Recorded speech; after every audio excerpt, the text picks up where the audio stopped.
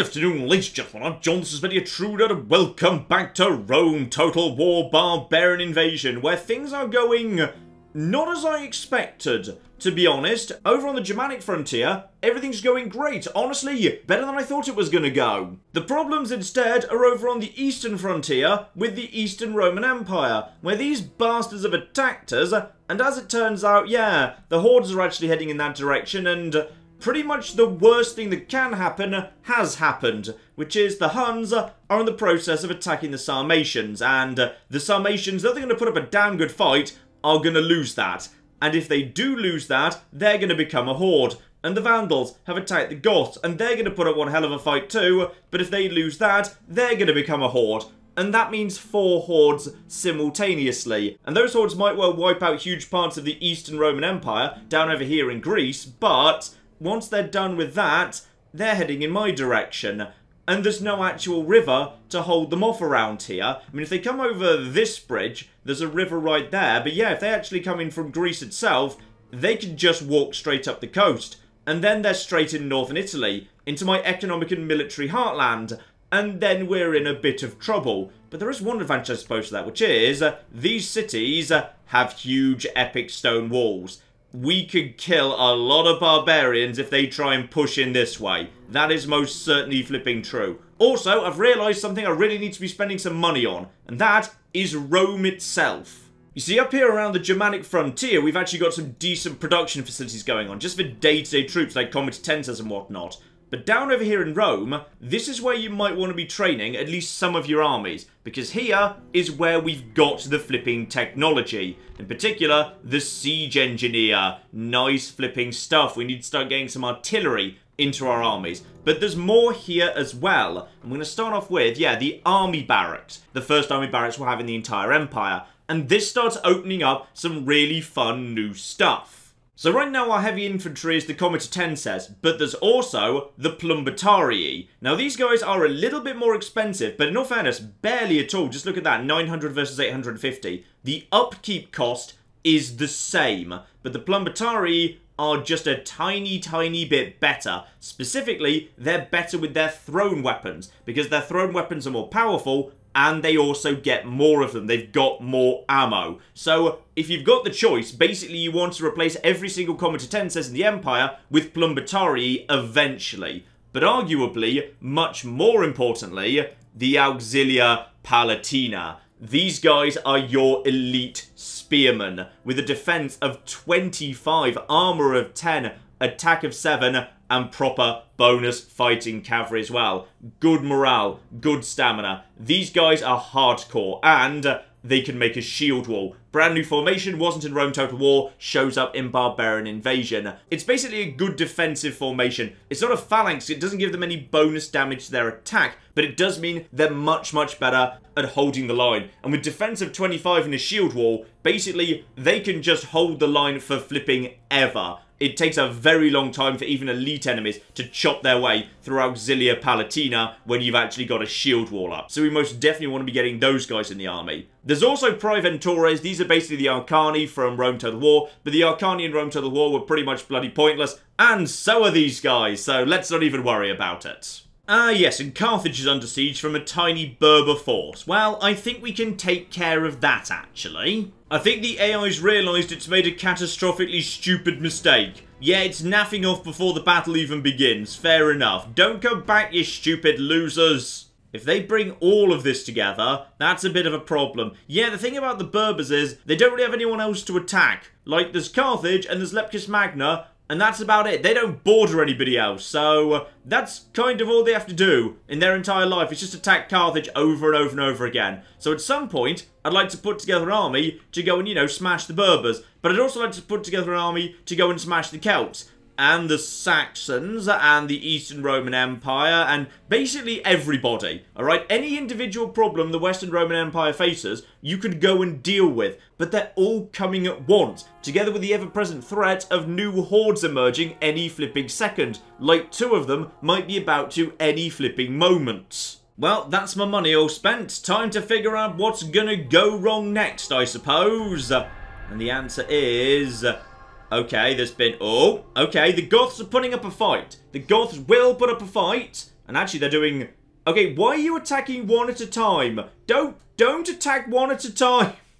But actually, you know what? They were finally able to win. Yeah, the thing is, these armies, while they're numerous, they're not great. Some of their spearmen are pretty flimsy, but eventually they will win. On the plus side, though, a lot of flipping Vandals did just die. Alright? That's good news if they end up heading in my direction. A lot of them just got very badly... Oh. Oh, we've got marvellously good news as well. They have called off the siege. These guys are not besieging the Sarmatian capital anymore. This is something they can do. Sometimes they'll start sieging somewhere, then they'll just, like, get bored and go and do something else. If they don't finish off the Sarmatians, that'd be flipping great. But you know what? It's probably worth us actually acknowledging what the Hordes are actually doing and what they actually want. Because this is kind of important. When the Hordes take a city, they have two things they can do with it. They can choose to exterminate it, which basically just means they get a giant pile of money, the local population is massively reduced, and the city becomes a rebel city. It doesn't play by the same rules as Eastern or Western Roman rebels, however, in that the actual garrison left over is only what could be built in the city. It actually just gains a free magic garrison out of nowhere, as would happen in any other Total War game that's kind of vaguely culturally appropriate to wherever the city is. And it tends to be quite a good garrison as well, just to disincentivize anyone from just following slightly behind the hordes and immediately reclaiming any territory they've just exterminated. The other option they get, however, is to occupy, because these hordes are not just going around trashing everything for fun, they are actually looking for a home. When they find somewhere they want to be their home, they will literally break down a third of their entire army strength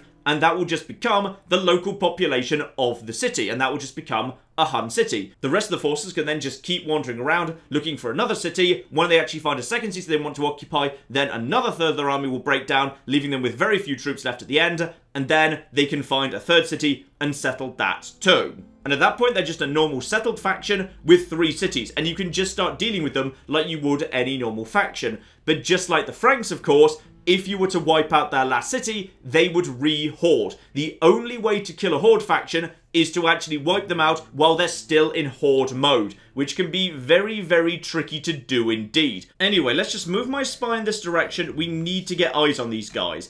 They might actually restart the siege momentarily when they've actually got all their troops lined up here. And yeah, they do also have actual flipping leaders. Surprisingly few, though. I can only see, like, two. Where are the rest of your leaders? I feel like you're lacking leaders for some reason. Meanwhile, we've got a giant pile of Vandals here, but yeah, these Vandals, they're starting to take some knocks, damn it. and here we go. Steppe Horde Spearman.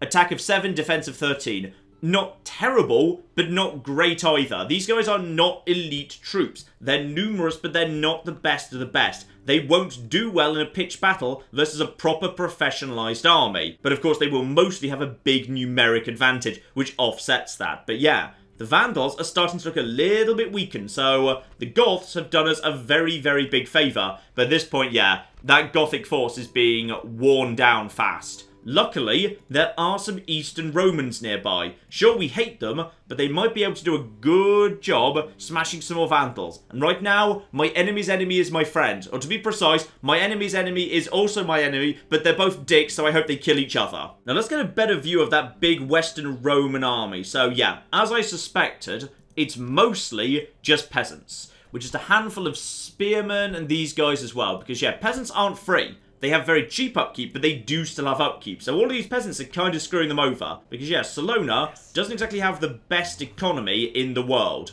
Can I get inside? Uh, probably a bit of a risk, to be honest. And uh, here we go. We've got a faction leader there, two peasants.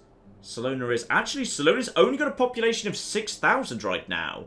Right, I'm guessing they've drained that into endless flipping peasants. Because yeah, we're playing on huge unit scale. And remember, one of my favourite things about Rome Total War is there was a proper population system. If you trained a unit that had 240 men in it, then as a result of that, there were 240 men less inside the city you trained them from. It actually made sense, and then it never showed up again in any Total War game in the future, which I think was a terrible, terrible shame because it was a beautiful, brilliant system. But Salona is most definitely looking vulnerable. Alright, I think we need to actually get down over here and take this place back. But to do that, we need to murder these bastards, which shouldn't be too difficult to do, to be perfectly honest. That should be manageable. But I don't dare actually bring all the forces of Spurius Flavius, the most Christian man who ever Christianed, down south to take Salona. because there's so many flipping Eastern Romans floating around Sirmium, and they'll just swing up north and take Aquincum if I leave it unguarded.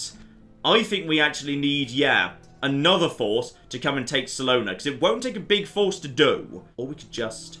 We could just smash that force and just see what the Eastern Romans are doing. Because I suspect, once the Vandals start entering their territory, and they will be entering Thrace momentarily, and once they're inside Thrace, that's actually the same territory their capital is in. Alright, so, oh, hang on.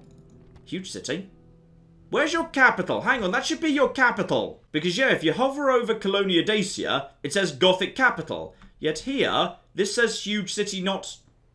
Why is that not saying capital? Possibly because the only reason I'm seeing it is because that's a city I need to take over in order to win the game ultimately. So maybe when I actually see it properly with like a spy, it'll update to say capital. I'm not sure. Now, Leptis Magna, which we failed to take last time, but now we can put it straight back under siege. It's going to take like four turns to actually build a battering ram. But now there's only one set of peasants left inside it because we killed the general, so his bodyguard's gone. So, right, four flipping turns to build a single battering ram. Flipping marvellous. Can I just send some like cavalry? I don't have any cavalry there, great. But I could definitely do with some more troops over at Carthage. I'm worried about Carthage. The Berbers are coming and uh, they're starting to draw all these forces together.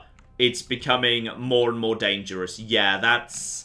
That's getting a lot more dangerous, actually and I have a decent assassin, I should be able to kill anyone they send in this direction, but I can't wipe out the army. Assassins back in these days couldn't sabotage armies or do damage to units. They could only take out the general. I mean, one option would be a giant stone wall, just actually make the defences tougher because that will be a tough nut to crack. Oh, by the way, really fun change from Rome Total War to incentivize building better walls. Walls now provided public order bonuses. They don't in Rome Total War, but yeah, in Barbarian Invasion, you actually get happiness and law bonuses that get stronger and stronger as the walls get better, which is really cool, because it incentivizes you to build proper epic stone walls, which otherwise you don't have a huge amount of reason to do, to be honest. Now, probably the best thing for me to do, however, is get a Legion barracks down, so I can actually have proper heavy infantry. And more specifically, I can actually engage with my existing comitatenses because I'll actually, you know, have the ability to retrain them. Right now, in that last Sally battle, I was keeping them at the rear because I don't really want them to fight unless they absolutely flipping have to. But if they do have to fight, they'll be taking knocks, and there's not really a retraining facility anywhere around here.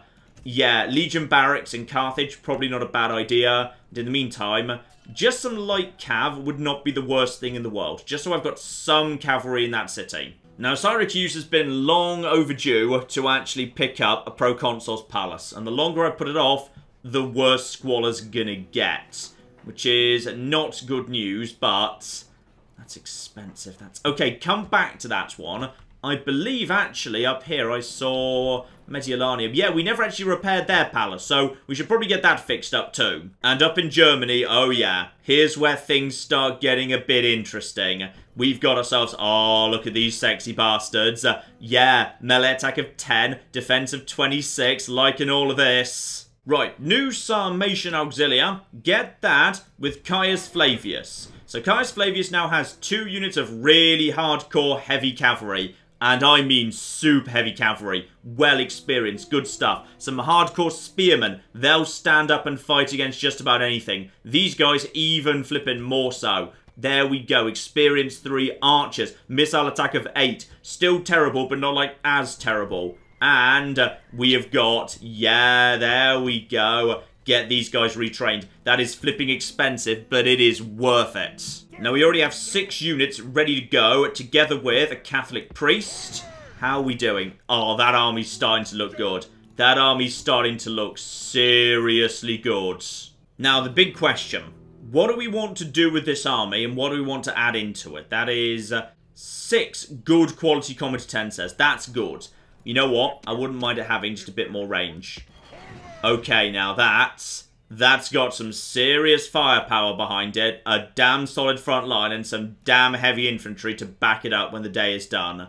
That is a solid army right there. And I'm going to trust Caius Flavius with that, because this guy has loyalty of 5, so that's absolutely flipping fine.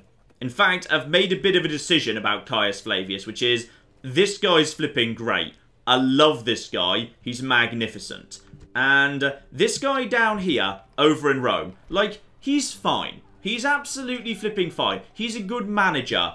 But we're never going to want him on the front line. So, Caesar, which is basically this game's way of saying faction heir, should he really be that? I don't think he should really be that.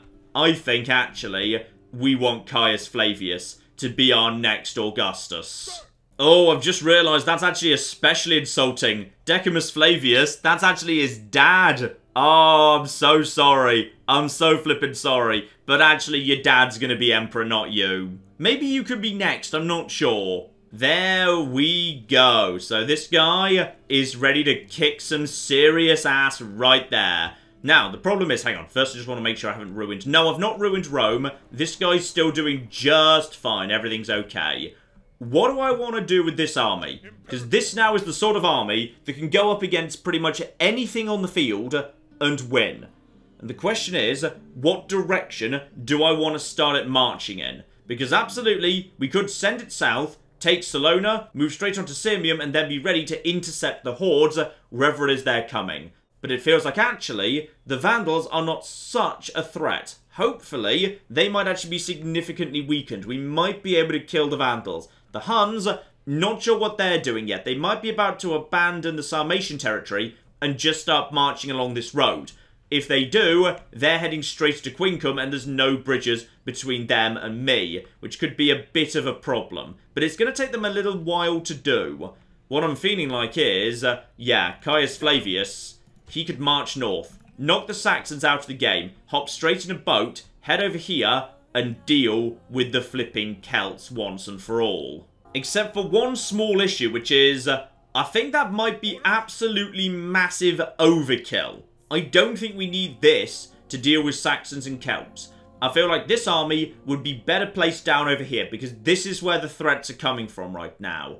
Which means I've got a bit of a different plan. So, Spurius Flavius, the most Christian man who ever Christianed, he would actually be a very, very suitable candidate to go and deal with Britain. Because not only could he pacify the Celts, he could Christianize the island. Because right now, this place is hard to flip and Christianize because it's small, it's isolated, there's no benefit from, you know, huge amounts of territories surrounding you passing on huge amounts of Christian benefit. So yeah, Avaricum has got like, uh, yeah, 20% Christian conversion due to neighbouring settlements. Britain doesn't have that, it's a line of settlements that don't really surround each other. But if Spurius Flavius could just flip London Christian, move straight up to York, pick up some reinforcements, march up here, and convert these to Christianity too, that, that could work. That could actually work pretty darn nicely. So, I feel like Spurius Flavius, he's potentially got some good work he can do up here. How old is Spurius Flavius, by the way? Oh, he's only 30. He'll be around for a long time, and honestly, I don't want him on the front line of the Hordes. He's too important, because he is the only super converting force I've got in the entire Empire right now. I mean, Valentinian himself is a little bit, I think he's like 15%,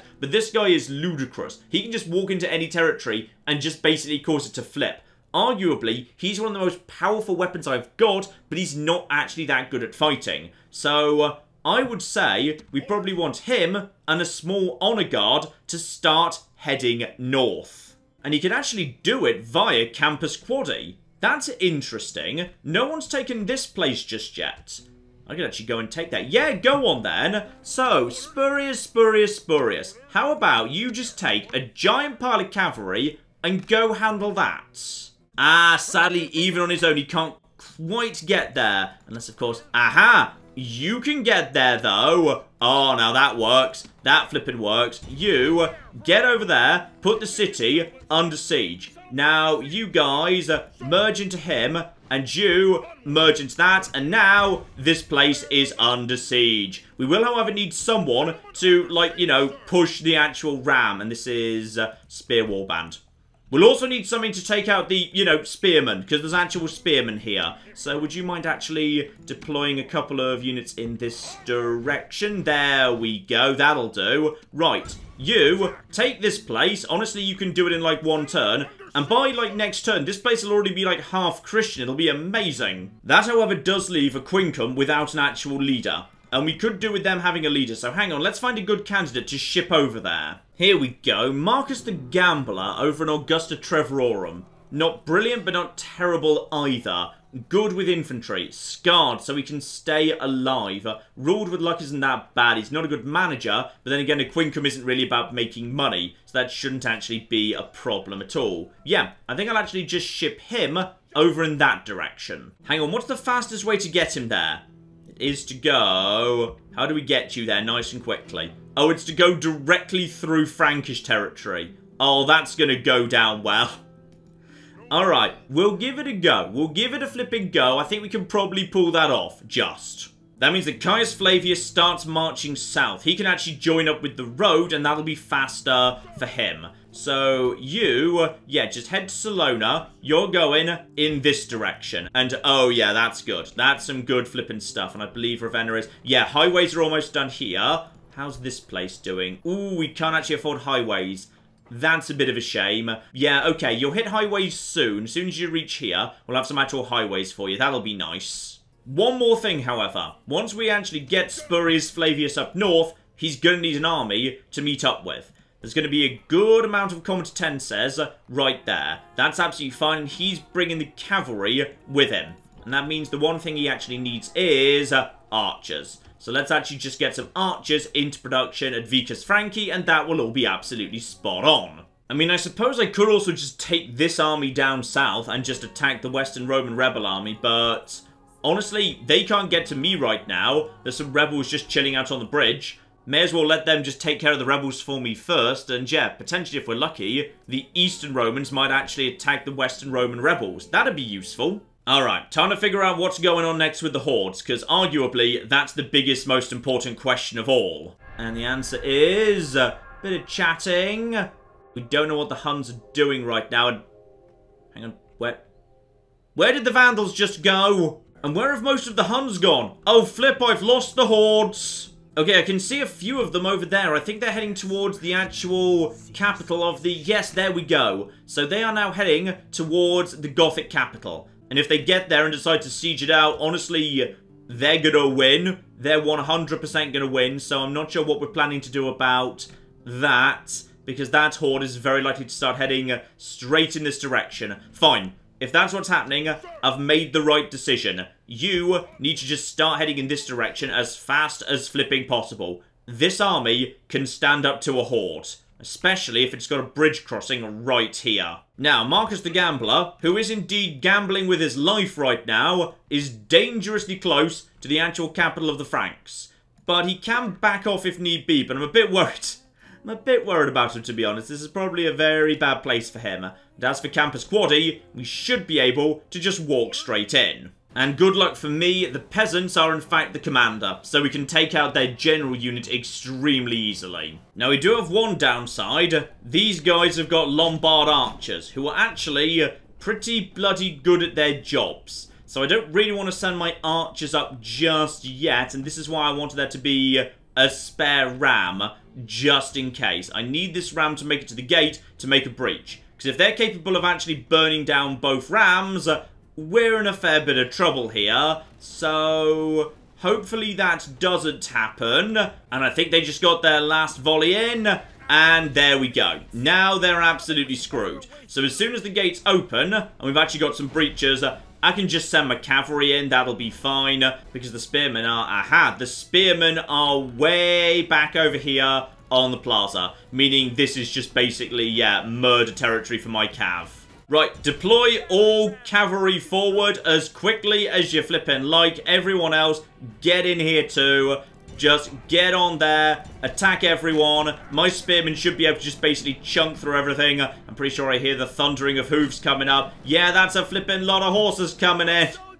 We're good. We're good. Get over here, hit these archers if you can. I want them to be not firing if you'd be so kind. Just get on top of them. Don't knock over your own troops. You, get in there and just take out the peasants. You'll be fine taking care of that. These guys will be absolutely screwed. Deploy more and more and more cavalry. Peasants will obviously break almost immediately. That won't be a problem at all. Those guys broke against archers, because of course they flipping did. Just basically, yeah, pour in more cavalry. We will take some losses. We can fix up those losses down the line. It's fine. Just getting over here. That's all a-okay. These horses will do their job. There we go. We're starting to see breaks right there. First unit starts to break get in over here, knock these guys down. You're actually the leader, which means they'll get a little bit of a morale bonus, but not much. And I'd love to actually chase down the archers, please. These guys are shaking. Come on. Come on, come on, come on. Why are you... Oh, bloody hell. My own fleeing spearmen are blocking up the gates. Right, we've got one unit, and we've taken out the general. Right, we've actually got their general on the run. I would like to hit their Lombard archers before they reach the plaza, but we're not going to be able to.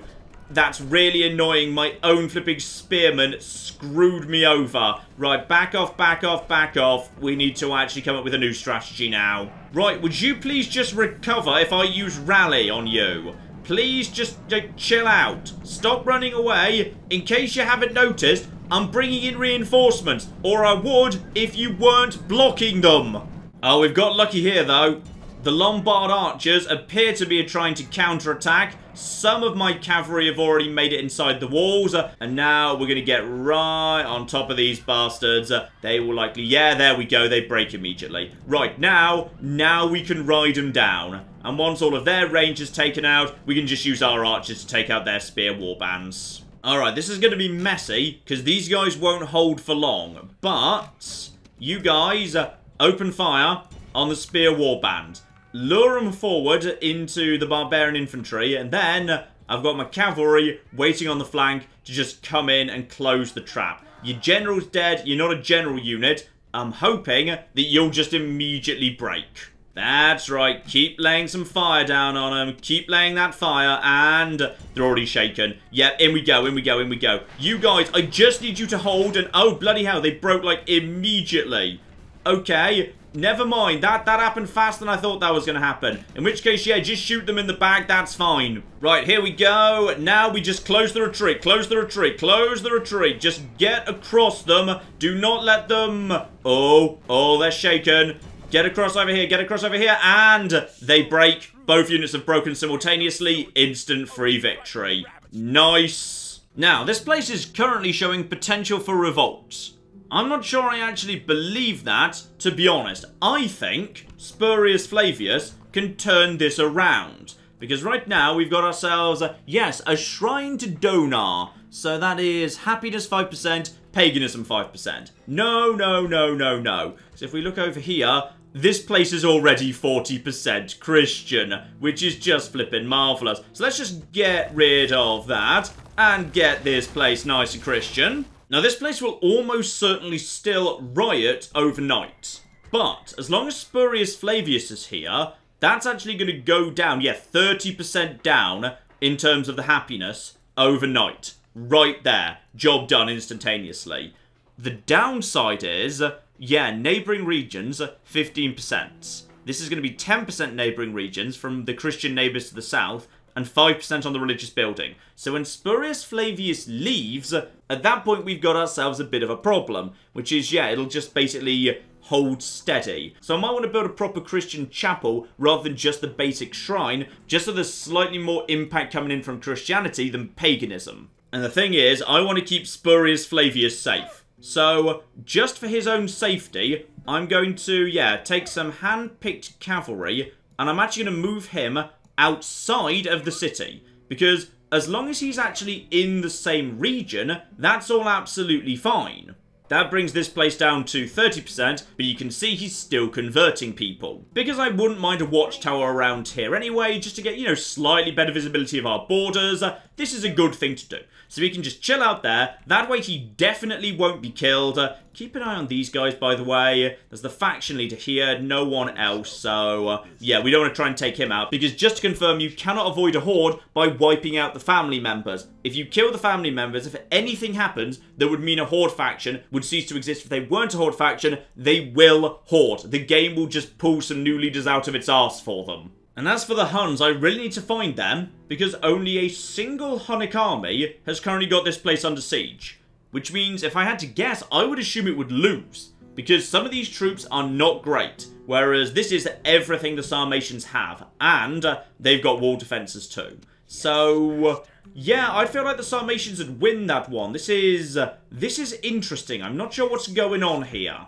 Now, as for Vicus Franci, we need to find a way to keep these guys nice and calm. Because, yeah, I would very much like these guys to be a big centre of training for me and mine. Now, what's the best way I can do that? Probably the best thing I can change is uh, culture penalties by overwriting barbarian buildings with my own. The biggest impact on that will of course be the Great Hall, turning this place into a proper Roman city. Can't do that just for the time being, so in which case, a wall, because that is a barbarian wall right now, and uh, that's also another 5%, because this stockade is just 5% happiness, a good stone wall is 5% happiness and law, plus of course, fighting on the walls works for me, because my Comitatenses we'll slaughter Horde infantry on the walls. And even better, now we actually do have Legion barracks in this town, I can start training, Comitatenses, with plus 3 experience and plus 1 weapons and armor. In fact, thinking about it, I just wasted a giant pile of money retraining and fixing up these Comitatenses, because if I just waited an extra turn or two, I could have sent them back to Vicus Franki, and now I want to retrain them again for an extra 2 XP. But no matter. Speaking of which, oh, that Celtic army is really starting to get scary. But you may notice, these guys don't have much in the way of ranged, and they don't have much in the way of cavalry. It's very infantry heavy and I'm starting to worry that we're not going to get there in time. If need be, we might need to fall back and just let them take York and will you naff off? Alright, I will get to you in time. Okay, the practice range in London is done. That means I can start archer production in London. That'll help me deal with the Saxons at least. Anywhere that doesn't have paved roads should be given paved roads, so Avaricum can have them. Anyone else still on old dirt roads? No, I think other than that, we're good. And yeah, for the core of the Empire, I would like highways as soon as you flipping can, please. Meanwhile, down with the Berbers.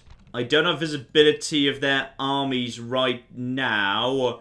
Not sure where they've got themselves to. And will you stop flipping besieging me? Get out of here, you. Also, they keep sending diplomats at me. And you know what I do to diplomats? I kill them in order to get free XP for my assassins.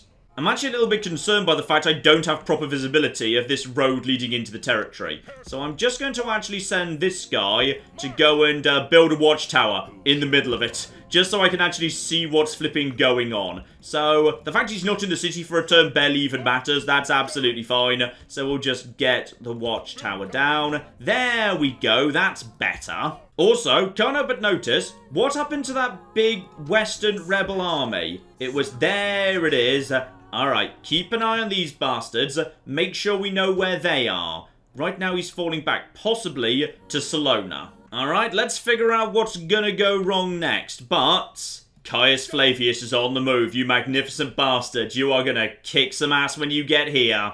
And, yep, obviously the hordes are moving and they're moving south.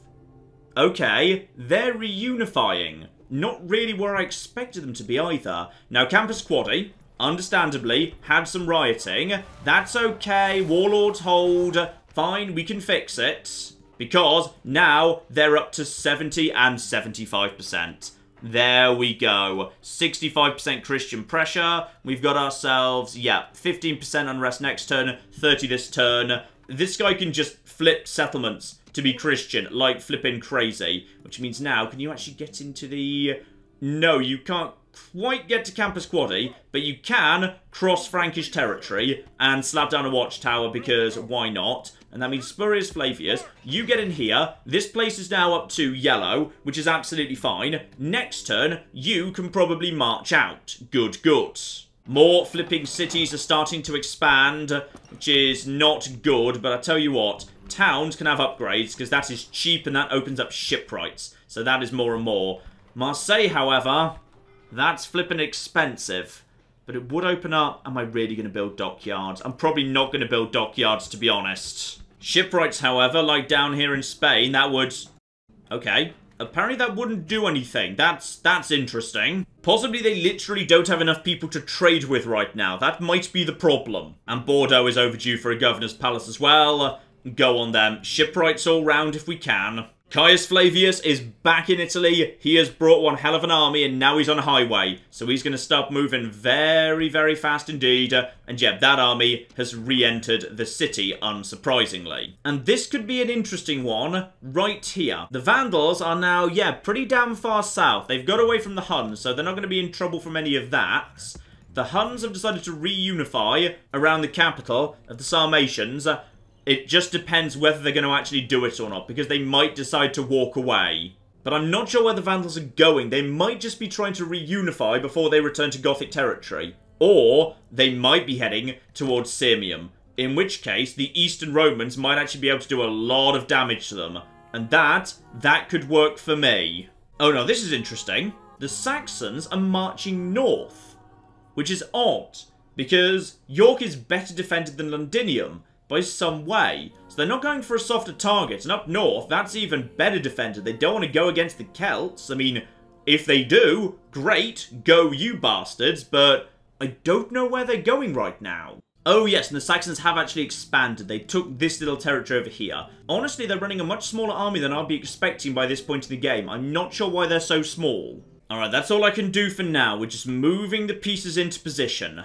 Let's see where the Hordes are going next, because the Vandals in particular, their next move is going to be critical for everything that I'm going to do.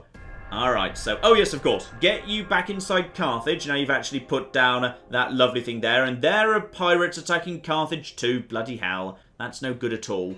Right, okay, I attack these guys, uh, chase them off. The pirates, however, might be about to attack me, and they'll probably flipping win too.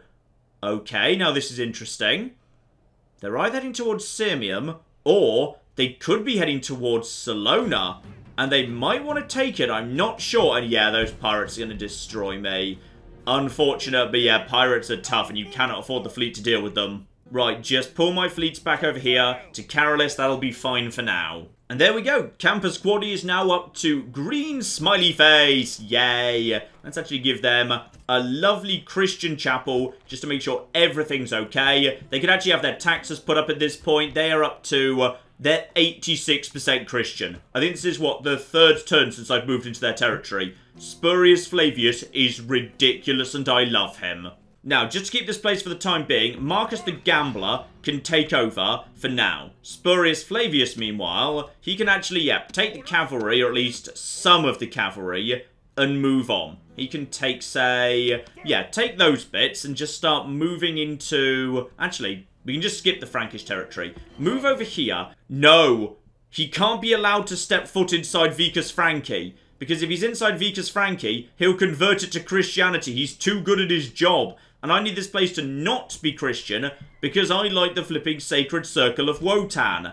Right now he's inside Vicus Alemanni. Now that place, I'd be happy to go Christian. We don't really need it anymore as an actual pagan production facility. Right, I'm going to lower their taxes immediately because there's about to be some severe religious unrest going on. There is however one small problem which is uh, the Franks are right flipping there.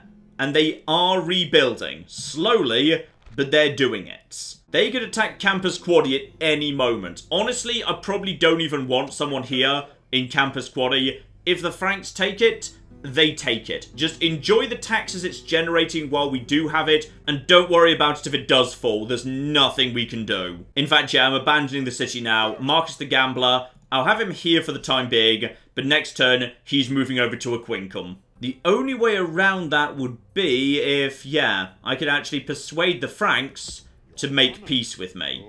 I'd be willing to pay money for that, alright? Because the Franks could be a useful barrier between me and the Lombardi over here. And once again, Saxons just chilling out outside my territory. This time, buying up mercenaries.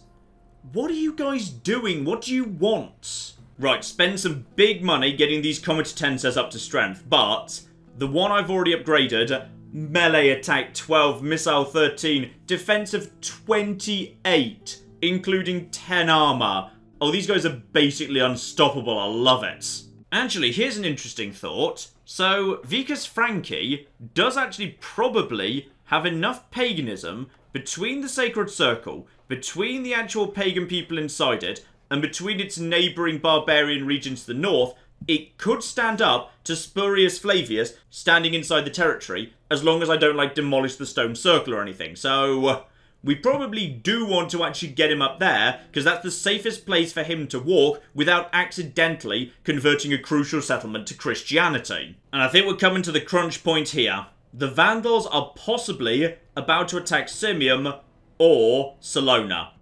And Caius Flavius, our Caesar, is right inside the same territory. We're heading to a flipping big battle here. And this is pretty crucial. Caius Flavius is all that stands between the hordes and northern Italy right now. They cannot be allowed to attack Ravenna or Rome. These places are not defended right now. Northern Italy is extremely vulnerable. And if things get nasty, Spurius Flavius might need to take these troops we're trading up here in Vicus Franki and just swing south to desperately defend northern Italy from the hordes. If need be, that's what we need to do. And once again, the Huns have moved away from the Sarmatian capital. I think possibly they might have lost. Because look at this, the Huns are actually looking a bit on the battered side. To me, those are not full-strength units. Those guys have taken a battering.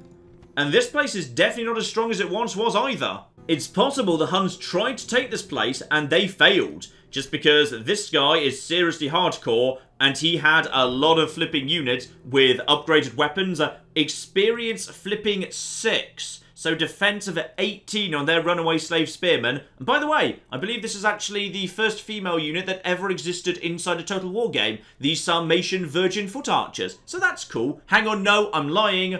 I am lying because there was a little bonus Amazon settlement in Rome Total War. But this was the first time they showed up in an actual normal playable faction you'd likely run into rather than as a little Easter egg. And as for the Vandals, it looks like, yeah, we've got a target for them. It's Salona. Now that's interesting. That's very, very interesting indeed because uh, if they decide to settle in Salona, a third of their remaining strength will break apart. At that point, we might be able to deal with them with Caius Flavius. That might actually be workable. And honestly, if they do settle here, I might just let them have it. I don't need to hold absolutely everything in the world. All I need to hold to actually win is 34 settlements. I'm currently on at 26. And that needs to include, weirdly, Tarraco. I don't know why Tarraco, but, you know, Tarraco together with Carthage, Rome, and Constantinople over there. Those three make a lot more sense to me. I'm surprised Alexandria isn't part of the list, but whatever. So basically, if the Vandals decide they just want to live in Salona, we could just let them. To be honest, it's not the most valuable settlement. It's not bad either. It can have some mines in it, which is nice. It's not a terrible trading position, but honestly, if they want to have it, they can probably just have it. So if the Huns are going to walk away from the Sarmatians, it looks like they're heading towards Gothic territory. Now that's less good, because the Goths are probably not in a position to win an amazing victory against the Huns. These guys had like a massive full stack army of experienced 6 units, which is pretty damn hardcore. These guys uh, have got experienced 1 units, and like a third of a stack. That is not gonna fly, so we might be looking at a Gothic horde yet. And that's the weird ebb and flow of this game. Some hordes just slowly get worn down, but they might trigger other hordes, so there might be a fresh horde about to spawn in over here, or they might turn back and just give the Sarmatians another go, we've no bloody clue. And if they don't give the Sarmatians another go, the Sarmatians have now got a seriously badass hardcore army that might itself decide to go and attack the Goths, or just walk along this road and attack my very soft northeastern territories over here, who bloody knows? Well, actually, the person who knows is going to be me and you as soon as I click the end turn button. So let's figure out what's going on here. And first, we need to watch a diplomat because I told him to just, you know, get somewhere a bit more on the useful side. Now, what have we got floating around here? We've just got an attack. We're going to lose that. Our fleets are being worn down right now. Very, very worn down indeed, unfortunately. Okay, we've got ourselves some confirmation right there. These guys are now attacking Salona. Salona is an incredibly soft target because it's mostly peasants. These guys are not going to be pulling an amazing victory out of their arse. These guys are not experienced six Amazon warriors or anything. They're just peasants. So now the question is, one, are the Vandals going to finish that siege? And two, if they do, Are they planning to burn the place down or actually settle there? Diplomatic information here. So yeah, Vandals have attacked the Western Roman rebels. We know about that. And the Burgundy and the Sarmatians are now allies. So uh, these guys and you up here, who we haven't really thought about too much yet. I think they control two territories, I believe. Now, my Frankish friends, how about a ceasefire? And no, they're not really into that. How about a ceasefire in which I pay you some amount of money and toss in trade rights and map information? Alright, I'm willing to pay for this. I am a decent, reasonable person. No, they're just not interested. Now, Vicus Alemanni is at this point, oh bloody hell, it's immediately flipped to 54% Christian. Oh no. Oh, flipping no. Right, okay, you move up here, if you'd be so kind, and stay inside this territory while we're just figuring out how to actually move troops over to you. You guys just drop the taxes. I don't really know why the Emperor's just floating around in Colonia Agrippina. He just flipping is. But yeah, at this point we've got ourselves quite a lot of, uh, quite a lot of trouble. You know what? What I'm going to do is I'm just going to let the arena finish before we actually Christianize this place fully. We'll have this guy just step down south, spend a single turn in there, finishing the job off. I just want the arena in place, so if need be, I can just turn on daily games, uh, just to ease the transition. Saxon's still just floating around here. Celts getting more and more dangerous looking, it must be said, uh, but nothing we can't handle with good, honest Roman steel. Berbers being surprisingly calm right now, to be honest. Are we finally ready for... Oh, we're finally ready for this. Right, you stupid bastards, it's time for some revenge. Good news, lads, we're back! And bless them, they have actually upgraded the shrine to a chapel. They've actually built some barracks. They managed to get sewers down. They've done a good job with this place. Well done. And also, hang on, is that, uh... No, I thought that was a practice range over there, but no, they haven't built everything. But they have built some good, decent, basic stuff here. So, uh, I will be very glad to take it off you at this point. So would you believe peasants didn't put up too much of a fight? Yeah, you guys are being exterminated. Screw you, you stupid bastards. Repair everything up, la-di-diddly-da. They're still unhappy. Yeah, the problem is Leptis Magna will never be happy. Nothing will ever make them satisfied. Ah, yes, and there's a fairly major Berber army right there, and uh, a leader coming in. Do we have enough troops in Carthage? I don't know, but we do have the ability to train Comitatenses there now, which is uh, welcome. Very, very welcome indeed. Probably best we get ourselves, yeah, a few more archers, a few more spearmen, a few more Comitatenses. That'll all be absolutely fine. And uh, actually, we do have a fair bit of money just jingling around in our pocket right now, which is probably a very good opportunity for me to get down something very, very important indeed. So, this game had a very interesting mechanic in it, which is if you wanted more generals, you could have them. You just needed the right infrastructure. So over here in the Circus Maximus, you'll see the Imperial German Bodyguard. This is basically a train your own general button. They're very, very expensive indeed, and you need a Circus Maximus to do it, but honestly, it's worth it because sometimes you just need another general. So let's actually get that queued up. That is a very, very good use of money. Meanwhile, Marcus the Gambler makes his way to Aquincum and actually makes it, yeah, make less money because he's not very good at his job in the slightest. That's all absolutely flipping fine. And uh, Caius Flavius. Probably, I don't want him getting too close to the Vandals. I don't want to start a war with them until I know what I'm up against and I know what they're planning to do with Salona. So for the time being, who are you?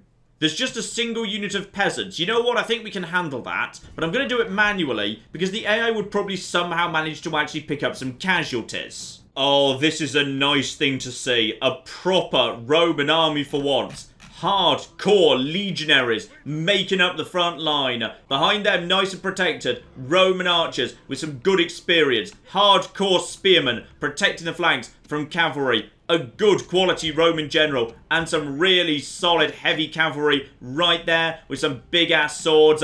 Now this is the sort of army you want to have. It's beautiful. Yeah, this over here, this is not the sort of thing you want to be facing off against. Like, especially if you're not barbarian peasants, but just in general, this is a hardcore army that'll do the job. This is a heroic victory, worthy of Roman arms! I'm gonna be honest, narrator man, heroic is not the word I'd go for. Like, amusing, target practice, sure, both of them. Heroic, not so much. Okay, so now we simply wait to see what the Vandals are planning to do, uh, and the Huns as well, because they are starting to look, yeah, a little bit on the battered side. I like that. I like that they're starting to look a little bit battered. The Sarmatians have done me a very, very big favour there. But first, the March of the Diplomat. Oh, the Franks are definitely gearing up for something. Fortunately, it's a very large number of peasants, for the most part, so uh, we can probably put it down, whatever it is, and oh, that's more flipping cities. I can do without that, though actually, you know what, you could definitely have a governor's palace, that's absolutely fine. And Londinium too. Yeah, palace for them, because then we can get some walls up in London. Then even if everything goes wrong with the Saxons or the Celts, we can cower in London quite effectively. And Alliance, the... The Franks of the Eastern Empire? Oh, screw you! The Vandals are sort of new to sacking cities, by the way. You can tell because they've built ladders in order to try and take a city with large walls, which ladders don't work against, so interesting decisions going on here. Oh flip, the Huns are actually going back for another crack at the Sarmatians. They've not given up yet. They definitely did attack last time, and they still have a lot of flipping manpower. They could pull it off, but yeah, it just feels like with every single victory, the Sarmatians are getting stronger and stronger. Okay, so, the situation around Vicus Alemanni, which right now, because, you know, Spurius Flavius walked through it briefly, is uh, that is now 50% Christian, 50% paganism, with Christianity just in the flipping majority. So this is oh, all marvellously good news. So I think it's actually time. We're going to take down the Shrine of Mithras, and we're going to put up the Christian Shrine instead.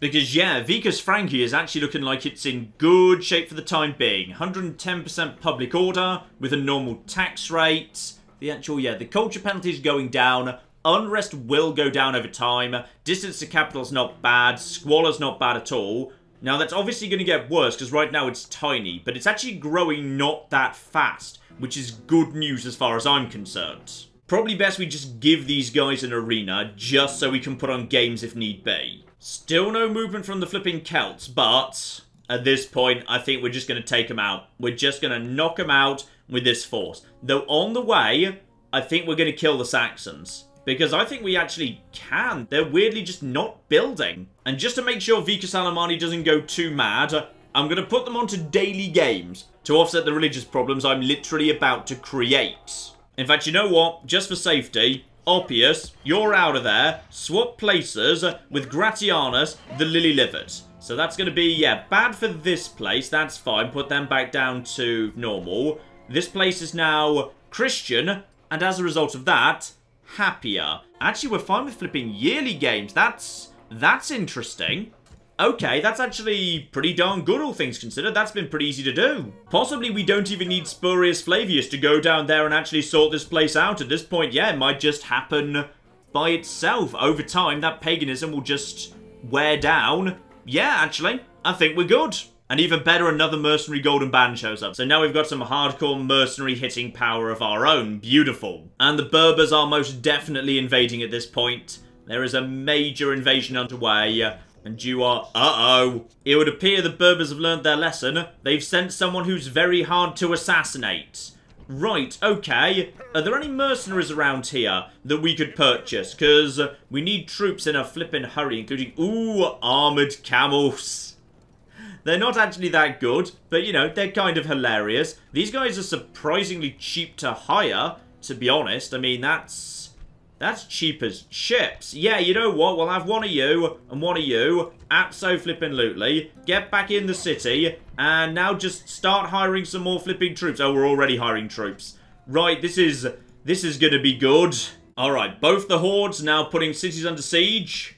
Let's see what we got going on next. But first, this diplomat one day, one day he's gonna make it somewhere useful. It's gonna be wonderful. Alright, Carthage has indeed been attacked by the Berbers. It's a small force for now, though. He hasn't waited for his entire army to show up, and oh, that's... That's a hell of an army that's coming. together with even more flipping people. Can we assassinate him at least? Uh, yes, we can assassinate you. Good, we can take care of you. That's not a problem at all. Few new children coming through. That's nice. It'll take them, like, you know, 32 turns to actually get there. But screw it. Sooner or later, that'll be useful. No movement on Salona. These guys are just building up. Hang on, who's actually doing the siege? It's you. Yes, you're just building more and more ladders that don't actually get used for anything. Well done. And no movement from the actual Huns either. I think it's you putting this place under siege. More flipping battering rams. Alright, keep a close eye on all of these bastards. Uh, well, I just send my spy around uh, just to make sure I fully understand the lay of the land here. And yeah, it looks like the Eastern Roman Empire is actually pretty well prepared for the possibility of hordes. They've got some decent armies protecting all of their cities, because uh, they can flipping afford it. Okay, one thing to do with the main army of Spurius Flavius, the most Christian man who ever Christianed. Send him himself over to Vicus Alemanni. He immediately takes control of the city, because he flipping can, because he's amazing. And that means, uh, yeah, next turn, Pagan Unrest is going down from 35% to 10%, which means we can start making some money a lot faster. His troops, however, they step inside here because, oh bloody hell, the city's too bloody full. Because as I was saying, these guys need some retraining. Beautiful. So we've already got, yeah, hardcore spearmen to hand over, and we're not going up against much cavalry. We've got five units of heavy legionaries. We can probably do better than that, to be honest. Let's just actually give him one more. We'll retrain the cavalry for more XP, and yep, he can just pop back up next turn once he's fully Christianized this place and just actually take possession of all of that. Alright, we need to see off this force before his friends arrive, and I start suffering attrition. Shouldn't be too difficult to do. You are nothing major to be honest. In fact, sword bearer. Right, plus one to personal security. Other than that, you're kind of terrible actually, so let's just quickly murder you. Especially as you forgot to bring any ranged units whatsoever, so this is all marvellous. Here we go, for the second time in a row, the Berbers have decided, wait, hang on, this is a catastrophically stupid idea. I'm taking my camels and going home. But they'll be back, because they've actually got a proper army on the way. Still, once again, no casualties. Honestly, the Berbers mostly just spend their time attacking Carthage because they've got nothing else to do. So that's all absolutely fine, but yeah, the next attack, that's the big one. Also, the Franks appear to have just pulled an extra three leaders out of their arse. So that's good. I really approve of that. Let's just stop murdering them if we can. Did we get him? No, missed the target. That's a shame. It was a bit of a coin flip. We'll keep going, alright? I'm not having you just pulling an extra three leaders out of your arse. But this here is what makes Horde Faction so flipping dangerous. He's just chilling out in this little town, building up, building up, building up. And I can't just keep a full stack army floating around nearby just to keep an eye on him. But I can't kill him, otherwise he'll become a Horde, at which point he's 10 times more dangerous. So, yeah, the Horde factions. Fascinating, brilliant mechanic. I absolutely love it. And once a flipping gen, the Huns have decided to call off the siege. Possibly, they did attack and yeah, they managed to kill some units, but I think they're actually losing. I think the Huns are losing against the Sarmatians right now. Though, of course, every time they lose, they are picking up battle experience as well, so they are getting stronger. But at this point, the Sarmatians are just slightly ludicrously tough. Yep, they definitely attacked those guys because there are less troops there than there were before, so they still can't break in. Alright, that bodyguard, that is some nasty stuff right there. 28 defense, 19 attack, charge bonus of 6. Bloody hell. And you guys are into gold chevrons at this point. And hello, the Western Roman rebels have been put down for good, and that means uh, these guys have just sacked Salona. And as we can see there, we've actually got ourselves, yeah, a bunch of peasants, but also herdsmen, a rebel general, and some runaway slave spearmen have just been spawned out of nowhere. So yeah, Salona's garrison is kind of a combination of stuff they're able to train there, plus like just a few other bits and pieces. So it's a bit of an odd mishmash. And if I'm very, very lucky indeed, it looks like you are heading south down towards, yeah, Thessalonica and down towards Athens. Yeah, it's Athens. That's the other one. I couldn't remember whether it was Athens or Sparta, but it was indeed Athens. And that's looking very vulnerable right there. Yeah, if the Vandals just want to head south and just basically smash the Eastern Empire, that works for me. That very much works for me. Not least as Caius Flavius can just follow behind them and take this city straight back for me. Now, Vicus Alemanni, this place is now straight up to 88% Christian. I love Spurius Flavius. He's flipping great. So as a result of that, we can now tax them more highly. You are now ready to begin marching on. Is there anything this guy can give you? No, we probably don't want to hand over the mother-in-law. You probably wouldn't mind the mother-in-law being handed over, but no, no, he probably doesn't want the mother-in-law because he's actually flipping good. Oh, by the way, this reminds me, fun bit of history. People were saying, why is Gratianus the Lily-Livered so flipping cowardly? Like, was there a reason the devs made him like this?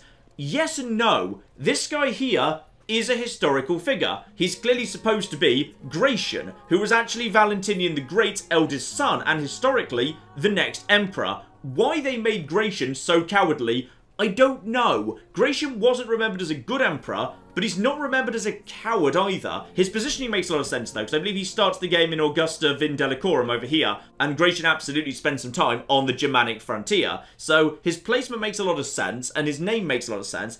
I just don't know why they decided to character assassinate an unremarkable emperor who died over a thousand years ago. I'm just not quite sure who decided to do that. Plus, the family tree also doesn't make a huge amount of sense. So yeah, we've got Valentinian the First up here, but his children aren't actually his historical children. So we've got Leontius over here, and Aulus Flavius here, and Caius Flavius over here, and yeah, Cassius the Livered. Those aren't the names of his actual children. His actual historical child is in fact his grandchild in this game, Gratianus the Lily-Livered. So I'm not quite sure why they changed that and didn't just make Gratianus one of his children, because that would have made a lot more sense. So there's some historical accuracy here, but there's also some things that just seem kind of arbitrary. Oh, bloody hell! I just told my assassin to try and take out one of the Frankish leaders and he got himself killed. It's a bit of a shame, he was a decent assassin. Oh well, sometimes it happens. But here's the big one. Spurius Flavius is ready to march the hell out. So, you get round over here onto the bridge. And, yep, you're on your own right now. Any chance of? No, no more flipping mercenary golden bands. Congratulations, my good man. I have prepared quite the bloody army for you. For your front line, six heavy legionaries with three experience and upgraded weapons. Melee attack 12, defense 28. They will stand and fight all day. To guard your flanks, some barbarian spearmen, defense of 22 bonus fighting cavalry. Solid flank right there. And for those special occasions, a mercenary golden band. These guys will murder anything you throw them at. Obviously, Spurius, you'll be needing some fire support, so how about 5 archers with experience 3 for missile attack of 8? And those cavalry you brought with you, I decided to just upgrade them for you too. So defense of 17, attack of 10, fast moving, bloody lovely. Congratulations, I think you've got yourself a pretty decent army there. And go on, you can take some experience for Limitane with you, purely because they're not really needed in Augusta Trevorum, and you're going to need something to leave behind when you actually sack a settlement, so we don't need to leave behind the good quality stuff. So, I think we're heading north, because the Saxons need to be knocked out of the flipping game. Oh, flip. Valentinian the Great is dead. Though, to be honest, he didn't really deserve the name the Great in our universe he was just Valentinianus the Wrathful. I mean, he did alright. There were a lot of problems with the Empire, and under his rule, we've sorted them out, but it wasn't really him that did most of it, if we're perfectly honest. I mean, due credit to him. He did actually successfully lead the assault on Vicus Franki. So he did lead the military on the Germanic frontier, which is very historically appropriate because Valentinian the Great was remembered as a good emperor because he did some good work on the Germanic frontier and he expanded the empire in that direction, which is exactly what Valentinian the Great did. Now, historically, his eldest son Gratian should now become the Western Roman Emperor, and not generally be particularly well remembered. But that's not what's happened here. Instead, no, no, no, no, no. We have got a brand new emperor here. Emperor Caius Flavius. A Christian, a good defender, a confident commander. He is brave, a great vanquisher, refined taste, and the Augustus himself. Now travelling around with a historian, together with, yeah, plus two influence, plus two loyalty. Hopefully the Emperor wouldn't flip sides, but you can never be too sure. Also, perhaps somewhat concerningly, I've, um, I've lost the Horde. I don't know where the Horde's gone. I thought they'd be heading in this direction, but I don't think they are. Uh-oh. Where's the Vandal Horde? If they're not over here, then... Oh, they might just be hiding around here. They couldn't have made it that far. Oh, they might be over here. Uh-oh. I'm a bit worried the Horde might actually be coming in my direction. So the Huns are once again just vaguely gathering around Sarmatian territory, and... Uh, the Sarmatians have got to be running out of steam at this point. They're literally running out of units, but the units they do have are bloody hardcore. Not sure what the Huns are planning to do next, but no fairness, that's better than my information about the actual Vandals. I don't know where they've gone. I mean, they can't all be hiding behind this one mountain range. They wouldn't fit. So, in which case, oh dear. Right, we might be in a spot of difficulty here. I've lost a horde. Now that immediately gets Colonia Agrippina down to, uh, yeah, some slightly worse public order, but that should be fine, uh, because uh, Spurius Flavius is coming through, and uh, I don't think this is standing in his way. I don't think that's standing in his way at all. Thankfully, the Celts have not yet moved. This is good. They're not attacking us. Also, just quickly check here. Who's actually the new faction heir? We might want to change that too. Cassius the... No, not Cassius the Lily-Livered. Most definitely not. We need to pick someone else. Though actually, I think one person probably deserves it more than anyone else. Spurius Flavius. Sharp, which is great. Tactician, which is great. Favoured of God, okay, maybe he's a little bit assassinatable, but that's fine, because once he's Emperor, he'll be much harder to assassinate. Night Fighter, obviously we know all about the Christianity business. Sadly, yeah, he's not good at the old uh, trade income, but if we just keep him on the move, he's 34. He'll be around for quite some time yet. I think, actually, Spurius Flavius has done more than enough to earn the right to be called Kaiser. Congratulations, my good man. You are going to be our next emperor. And in the meantime, you are going to smash the hell out of some Saxons. Here we go. We've got London ready to flip and go here. We could make, oh, we could make crazy money by upgrading that. Yeah, go, go, go, go, go. Get a shipwright set up in London. London can make some seriously big money. Though it must be said, the new Emperor is in, yeah, a bit of a difficult position, which is he's probably just round the corner from some flipping hordes. And I have absolutely no idea where those hordes are, so I'm keeping him on the river crossing right here. That's a pretty safe place for him. Diplomat update. He's just about passing Mediolanium right now. He will soon be across Italy. Marvellous. Oh, the Huns are having another flipping go at it. They are genuinely having another go at the Sarmatians. And the thing is, if they do eventually win, even if it cripples the Huns to do it, if they actually take out the Sarmatians, the Sarmatians will hoard. So arguably, from the point of view of screwing me over, it will have all been worth it. And speaking of which, uh-oh.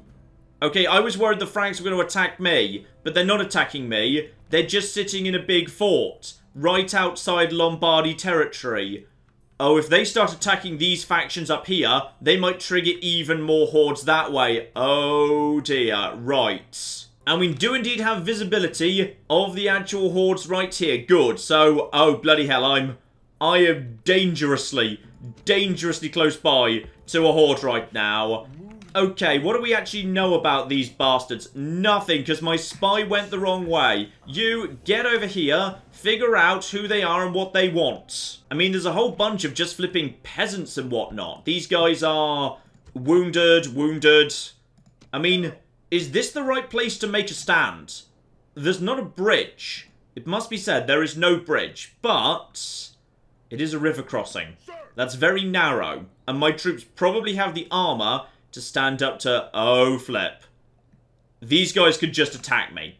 Any second. We are not at war yet, but they'll just attack anything they like the look of, to be honest. But perhaps the biggest concern is, if they don't attack the Emperor, then this guy is probably one or two turns away from Ravenna, which is guarded by a single unit of spearmen, and Mediolanium, which is guarded by a single unit of peasants and then Rome, which is guarded by Decimus Flavius, who is a very good administrator but not a very good commander, and some light cavalry.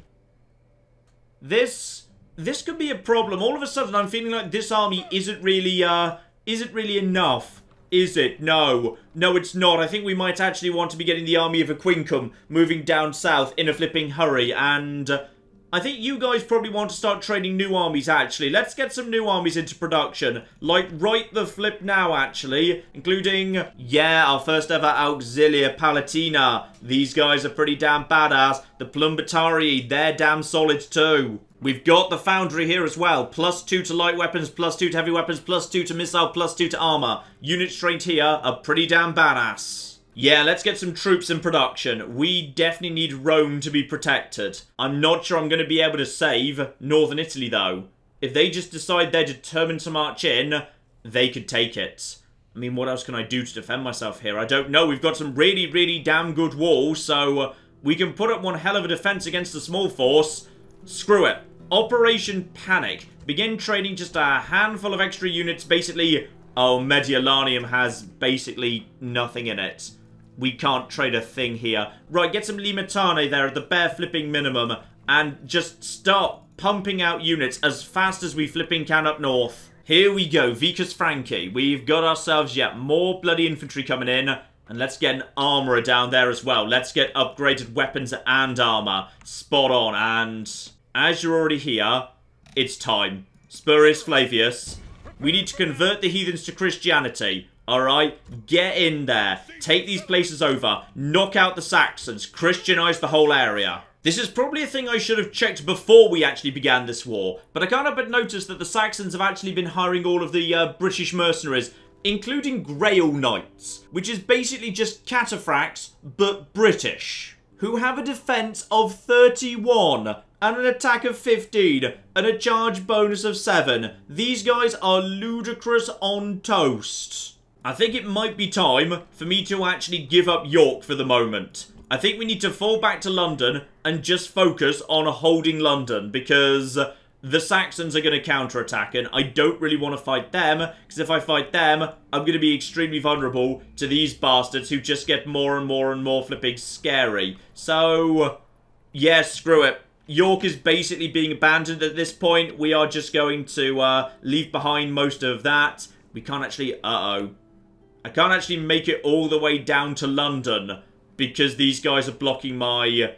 Oh, that's... That's no good. Right, okay. This is fine. This is all 100% fine. This is stuff I probably should have considered before declaring war on the Saxons, but that's okay. Just get every unit we can to join up with these guys. If they're planning to attack us, we should be able to defend ourselves. But you know what, ladies and gentlemen? I'd say that is enough for now. Things are about to go completely flipping mental. We can wipe out the Saxons, potentially before they could take York, but that might bait the Celts further south, meaning they'll end up with York, which they've had before, but they might actually take it by force this time. But if I knock out the Saxons, these guys will become rebels, but then will they keep the mercenaries? I don't even flipping know. And at any given moment, Spurius Flavius might need to rush home to deal with the ever so slight issue that there are actually barbarians on the doorstep. The Vandals are about to flipping hit Italy, which is historically appropriate because the Vandals did actually hit Italy. Not this route, they came via a really stupid convoluted route by like going through Spain and then like looping around and all sorts of nonsense. But the Vandals are on their flipping way. It's my Emperor's first day, and he might need to defend himself against the Vandal hordes. And up north, the Huns might be about to trigger the Sarmatians a flipping again. There is a lot going on, ladies and gentlemen. We will see how all of that shakes out next time. But in the meantime, I've been John. This has been Many A True Nerd. This has been Rome Total War with Barbarian Invasion. Thank you very much, and goodbye. This this guy's enjoying that. This guy's enjoying his elephant a bit too much. Oh my god. In Fair Verona, we set our scene. Oh my god, Becky, look at her butt. It is so big. They've managed to glitch inside one of the buildings. Elephants in the rear! And then in come the chariots! Yeah.